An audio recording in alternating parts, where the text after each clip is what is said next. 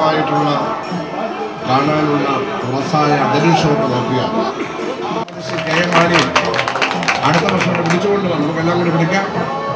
അദ്ദേഹത്തിന്റെ സഹായത്തോടു കൂടി നെഹ്റു ട്രോഫി കഴിഞ്ഞാൽ നമ്മുടെ രാജ്യത്തെ ഏറ്റവും വലിയ വള്ളംകളിയാകാനുള്ള പശ്ചാത്തല സൗകര്യമുള്ളത് കൊണ്ട് നമുക്കത് പ്രയോജനപ്പെടുത്താൻ കഴിയും.